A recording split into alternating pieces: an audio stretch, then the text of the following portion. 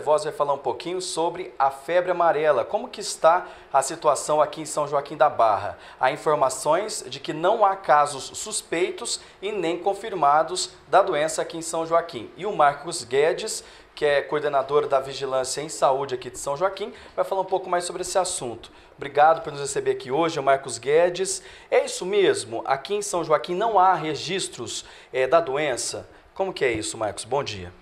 Bom dia e bom dia a todos né, que está vendo o T-Voz. É, realmente, não há motivo de pânico, não temos caso confirmado é, de febre amarela na nossa cidade, não temos caso suspeito. Estamos fazendo aí um trabalho de vigilância e a gente quer assim garantir para a população que existe uma vigilância, temos que ter cuidado, estamos trabalhando, mas no momento não há motivo para pânico, porque nós não temos casos nem notificados, nem suspeitos e nem casos confirmados de febre amarela na nossa cidade. E com isso a equipe está em alerta, né? Vocês estão trabalhando, estão fazendo o trabalho de orientação. Como que é isso, Marcos? É, primeiramente, nós estamos trabalhando né, no, na dificuldade do mosquito se reproduzir, eliminando criadouros, chamando aí a população para estar sempre é, junto aí nessa luta contra o mosquito Aedes aegypti.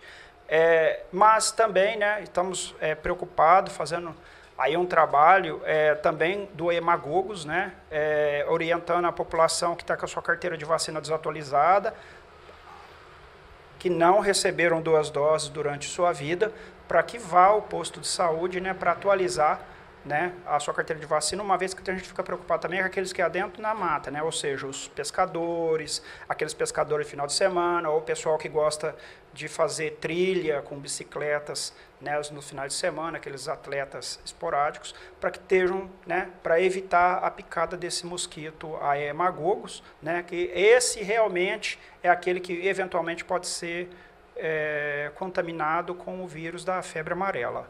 Agora é importante salientar que não existe uma campanha de vacinação contra a febre amarela aqui em São Joaquim. Apenas uma campanha de rotina, né, Marcos? Essa informação que vocês receberam do setor responsável pela sala de vacina? Exatamente. É, não existe campanha da febre amarela. A febre amarela ela é, ela é contemporânea. A vacina sempre existiu, né?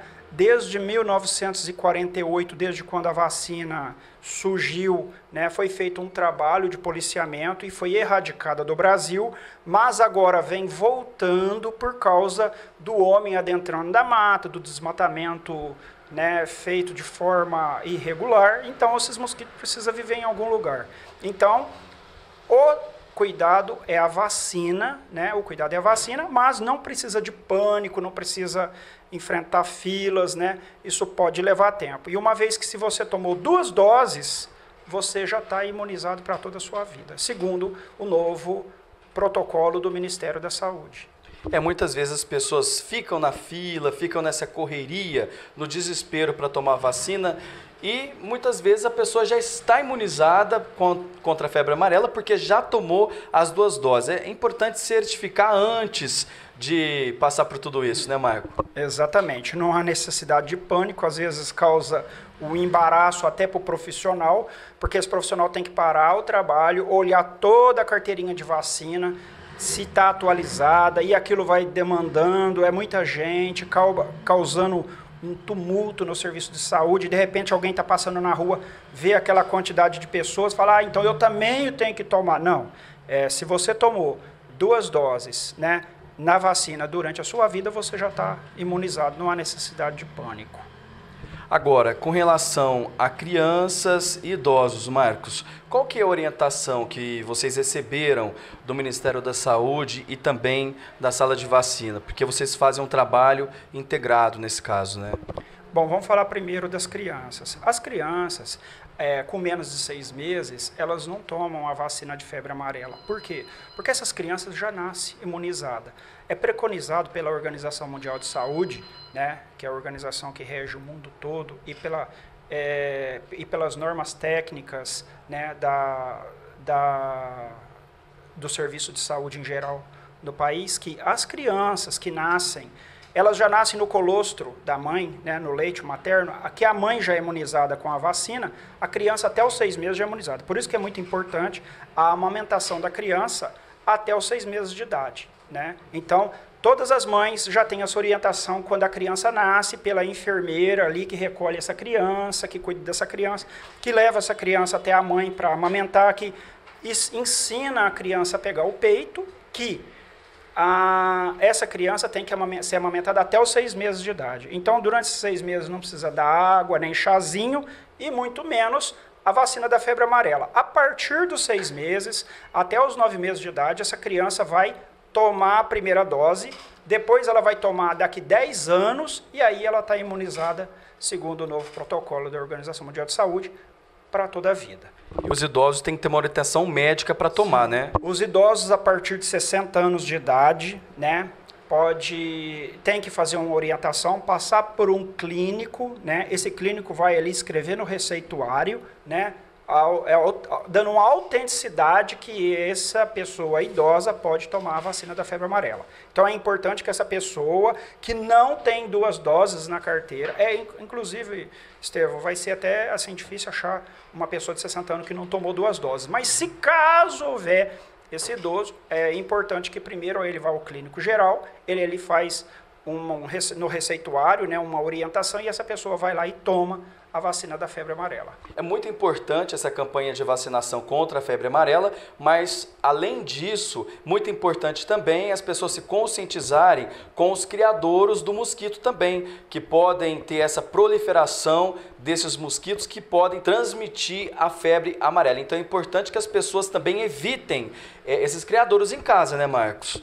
Sim, é, fazendo uma análise rápida aqui é o seguinte: é, o mosquito Aedes aegypti ele traz aí dengue, zika, chikungunya e ele também ele pode transmitir ao homem a febre amarela, mas por enquanto em estados é, laboratoriais o que pega do macaco não é o Aedes aegypti, é o é o Aemagogos, né?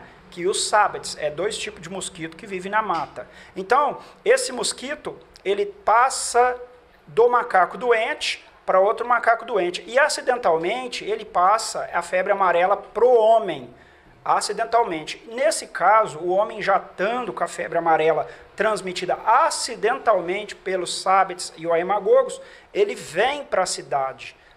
De repente, ele passa a febre amarela para o Aedes aegypti assim como a dengue. E aí esse vetor, infelizmente, começa a transmitir a febre amarela para o homem. Então, no nosso caso, não é preocupar com os sábados e nem com a hemagogos, mas sim com a Aedes aegypti. Se o Aedes aegypti ficar, de repente, doente, um exemplo daquele senhor de Ribeirão Preto, né, que teve febre amarela, se ele está dentro da cidade, se um mosquito Aedes aegypti pica ele e fica doente, sim, aí esse Aedes aegypti começa a passar para outros indivíduos. Então, a nossa preocupação é cuidar do Aedes aegypti. Lembrando sempre que do advento da febre amarela faz-se aí bastante comentário, mas o pessoal está esquecendo, Estevão, do, da dengue, né, da zika, da chikungunya, está esquecendo da microcefalia.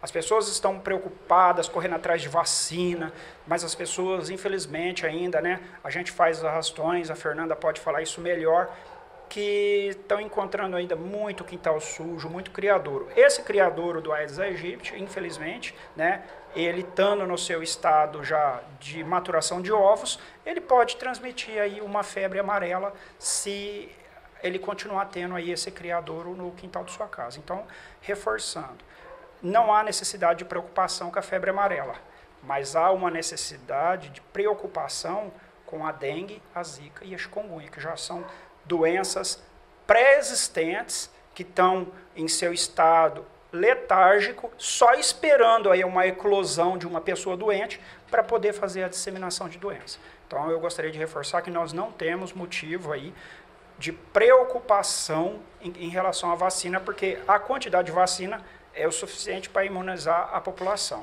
A nossa preocupação é que as pessoas continuam mantendo seus quintais limpos, continuam não deixando reservatórios de água parada, limpando suas calhas e todo aquele procedimento que é sabido sobre o criador do mosquito Aedes aegypti. Tá certo, Marco. Obrigado por nos receber hoje aqui no setor de vigilância em saúde e sucesso aí nos trabalhos que vocês desenvolvem no dia a dia, toda a equipe aí de vocês, agentes de vetores e outros que trabalham aqui no setor. Obrigado, sucesso aí, tá bom? Eu que agradeço e é um, é um prazer enorme estar sempre informando a população.